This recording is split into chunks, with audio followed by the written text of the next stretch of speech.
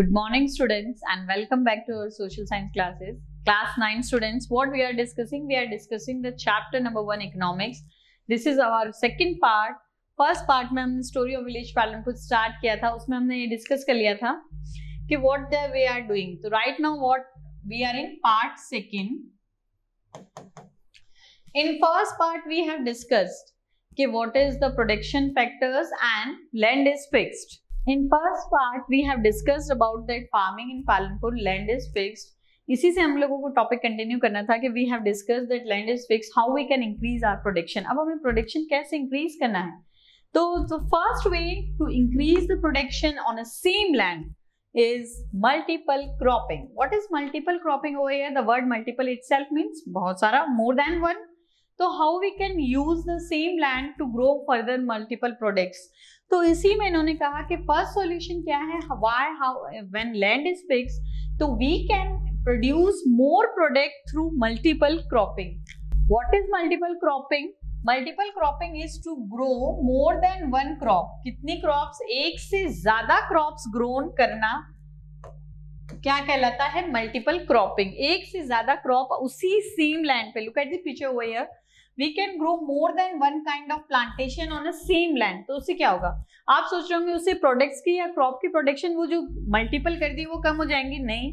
इससे फर्टिलिटी भी मेंटेन हो जाती है और साथ में एक ईयर में बोला इन्होंने कि multiple grown crop in a same year एक ही साल में अलग अलग क्रॉप्स ग्रोन करना एक सेम लैंड पर. कैसे? तो उसी को हम स्टोरी से रिलेट करते हैं कि पालमपुर के अंदर जो फार्मर्स हैं, वो जवार मेन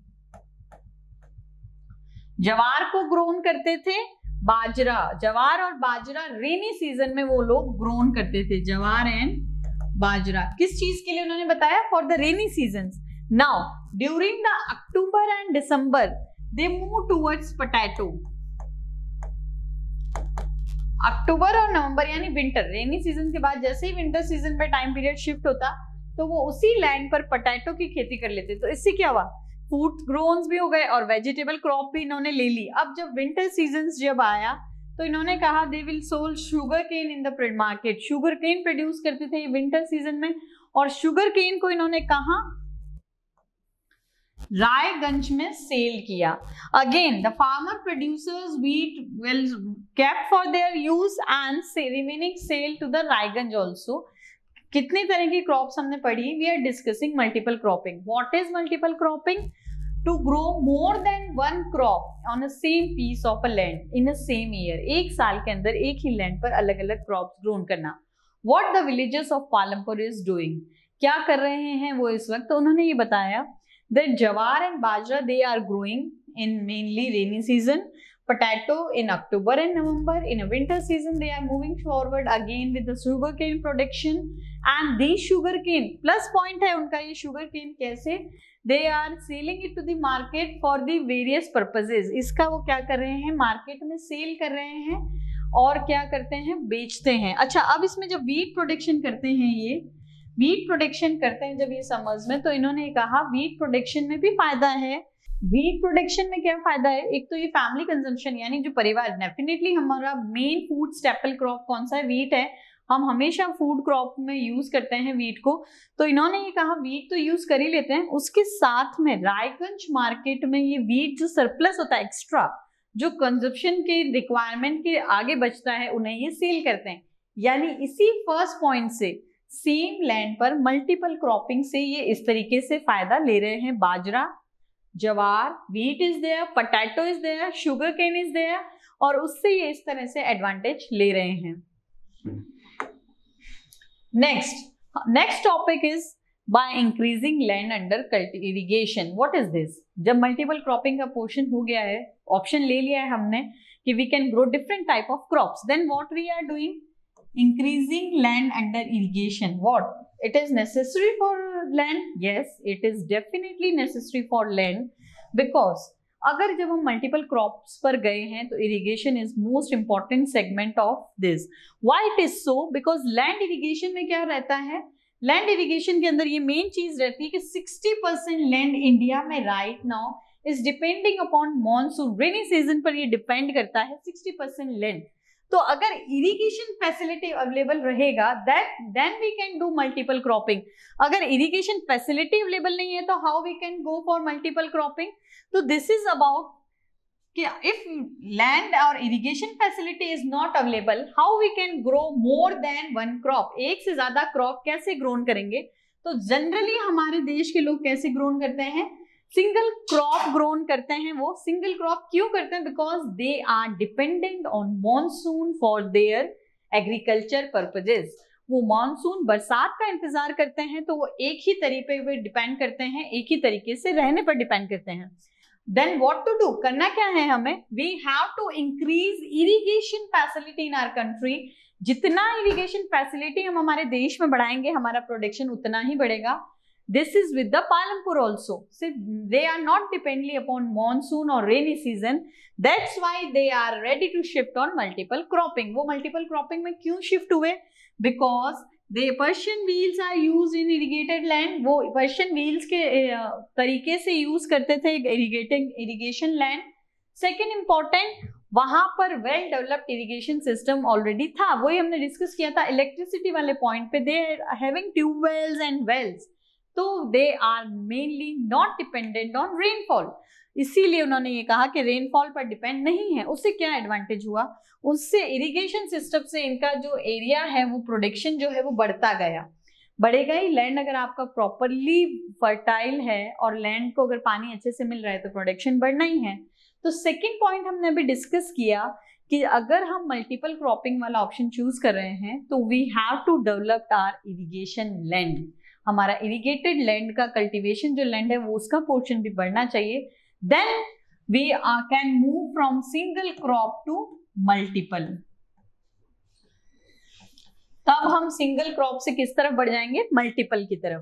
तो right now we discuss two points land is fixed okay we have to increase the production first option multi cropping second option by increasing land irrigation what is the next Next is modern farming of HY seeds. This is an another important segment कि कैसे हम और production यानी land को यहाँ से अगर हम चेन बनाए लैंड इज़ अवेलेबल हमने उसी लैंड को मल्टीपर्पज में डाला।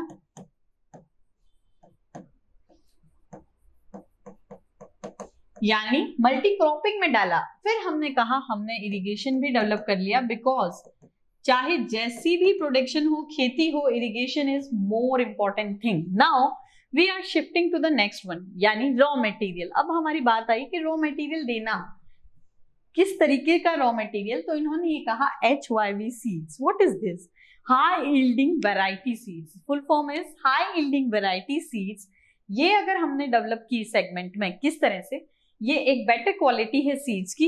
तो इन्होंने बताया, पहले जो प्रोडक्शन था increase of piece of a land single जो सिंपल सीड्स थे, उनके थ्रू किया जाता था, यानी traditional seeds simple in the sense basic जिसको हम कहते हैं। अच्छा सीड्स को कैसे मेजर किया जाता है? क्वालिटी वाइज कितनी अच्छी सीड्स की क्वालिटी होगी, उतना ही अच्छा आपका प्रोडक्शन होगा। तो इन्होंने कहा earlier farmer use to take traditional seeds पहले क्या ले रहे थे? वो ट्रेडिशनल सीड्स ले रहे थे। उसके साथ में सीड्स के साथ में फर्टिलाइज़र बहुत इंपॉर्टेंट होते हैं। तो they are using simple cow dung etcetera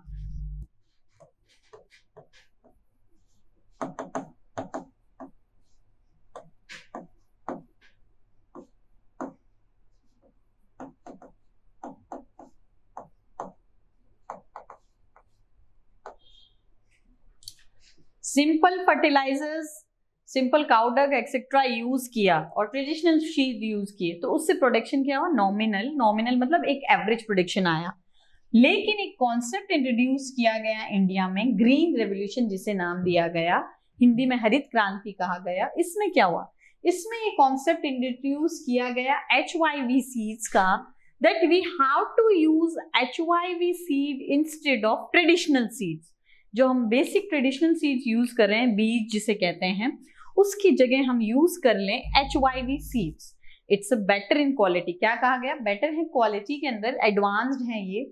और उससे क्या होगा? जब हमारा लैंड अवेलेबल है, हमने इरिगेशन फैसिलिटी अवेलेबल कर ली है रॉ मटेरियल पर जब बात आई तो we started using H Y V seeds कहाँ से इंट्रोड्यूस हमारे देश में? ग्रीन रेवोल्यूशन में लेटर नाइनटीन में ये इंट्रोड्यूस किया गया. इससे क्या एडवांटेज हुआ? पूरे ऑल ओवर इंडिया के अंदर वीट एंड राइस का प्रोडक्शन इंक्रीज हो गया डेफिनेटली क्यों? क्योंकि इसमें कॉन्सेप्ट बताया गया था, इस सीड को जब डालते हैं एच सीड्स को तो ये माना जाता है एक सिंगल प्लांट में। अगर एक सिंपल प्लांट में इस तरह से ग्रोन हो रहे हैं तो ये ऐसा नहीं कि एक पौधे के चार पौधे कर देंगे। नहीं दे आर टेलिंग कि उसी सिंगल प्लांट के अंदर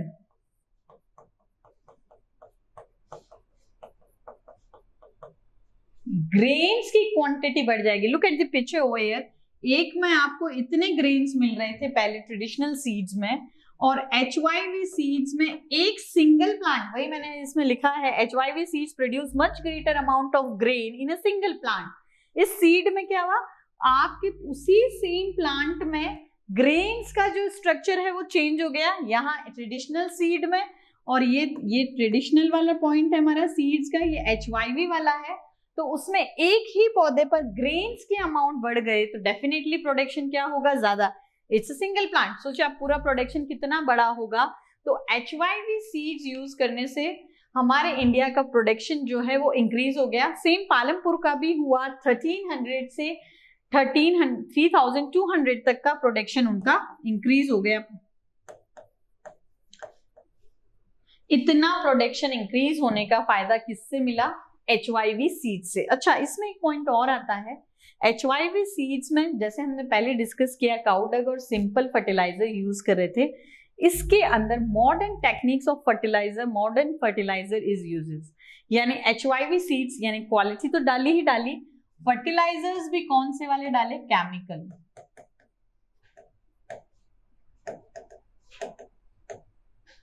अच्छा केमिकल फर्टिलाइजर्स से क्या एडवांटेज है?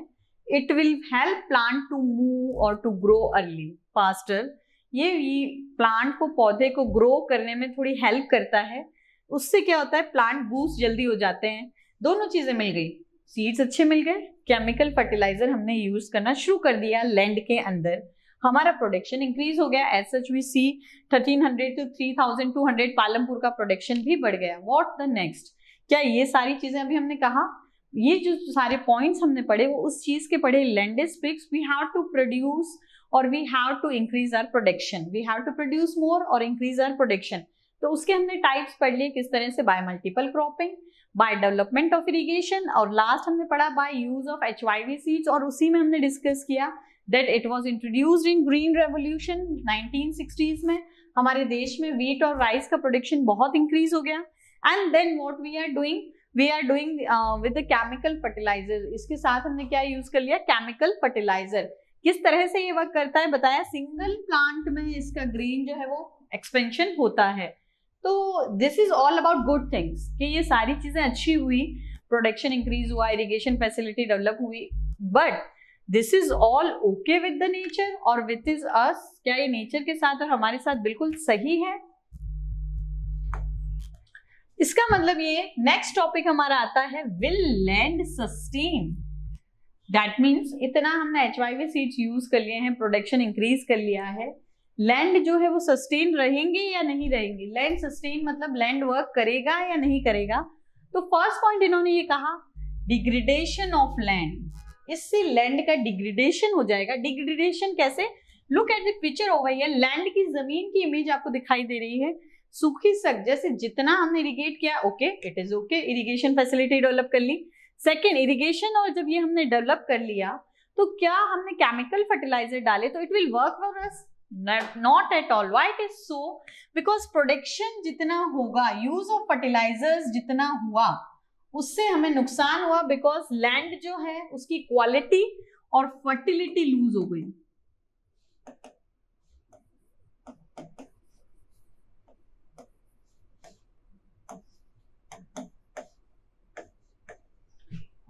फर्टिलिटी लॉस टू लैंड इसका मतलब ये हुआ कि लैंड की फर्टिलिटी को हम क्या करते रहे? कम करते गए। क्यों कम करते गए?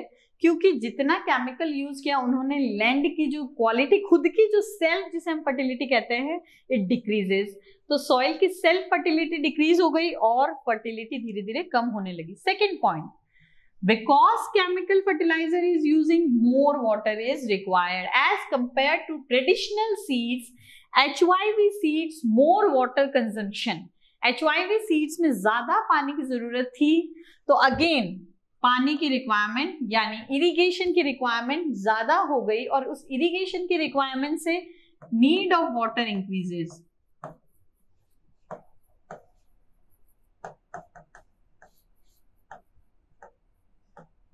अब जब नीड ऑफ़ वाटर इंक्रीज हो गई तो definitely more water is required otherwise land water land will not be sustain फिर वो ज़मीन सही नहीं रहेगी। अच्छा जब नीड ऑफ़ वाटर हमने कहा कि बढ़ गई है it directly relate to underground water